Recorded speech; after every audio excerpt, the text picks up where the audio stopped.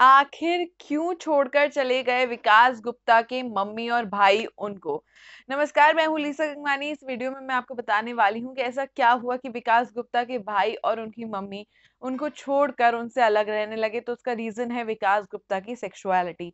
जी अभी कुछ दिनों पहले ही विकास गुप्ता ने ये रिवील किया था that he is a proud bisexual person और इस बात को उन्होंने जग ज़ाहिर कर दिया था। ऐसे में उनकी मम्मी और उनके भाई को ये चीज़ पसंद नहीं आई और वो दोनों चले गए हैं उनका घर छोड़ के। हम आपको बता दें कि सिद्धार्थ गुप्ता, जो कि हैं विकास गुप्ता के भाई, उनसे विकास के वैसे भी कभी भी बहुत अच्छे रिलेशन नहीं थे और इस रेवलेशन के बाद उनके बीच में और ज़्यादा दूरियाँ आ गई हैं और अभी सिद्धार्थ गुप्ता ने अपना बर्थडे मनाया था थर्ड ऑफ़ नवंबर को, उसमें नहीं थे विकास गुप्ता इनवाइटेड जब विकास गुप्ता से ये पूछा गया, तब उन्होंने किया ये रिवील की मेरी फैमिली फील करती है embarrass to accept me in front of society इसलिए वो नहीं करते हैं। मुझे एक्सेप्ट और इसलिए नहीं बुलाया होगा बर्थडे में, लेकिन मुझे कोई दिक्कत नहीं है। एज फार एज उनके सेलिब्रेशन अच्छे से जाए, वो अच्छे से अपना बर्थडे सेलिब्रेट करें।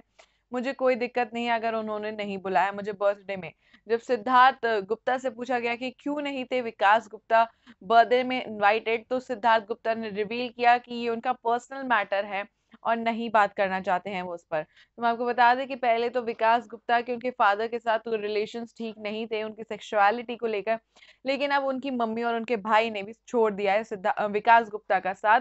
और ऐसे में विकास गुप्ता काफ़ी अजीब सा फील कर रहे हैं क्योंकि वो नहीं समझ पा रहे हैं कि वो जो उनकी इंडिविजुअलिटी है, जो उनकी असलियत है, उसको कैसे छुपा लेते हैं। और उनकी मम्मी और भाई का रिएक्शन भी काफ़ी हद तक समझ रहे हैं। कि वो सोसाइटी के प्रेशर में एम्बेरस होने की वजह से बना रहे हैं उनसे दूरिया भाई विकास गुप्ता, ऐसे में हम आपको खूब सारी स्ट्रेंथ देना चाहेंगे और आपका क्या कहना है इस पूरे मैटर पर?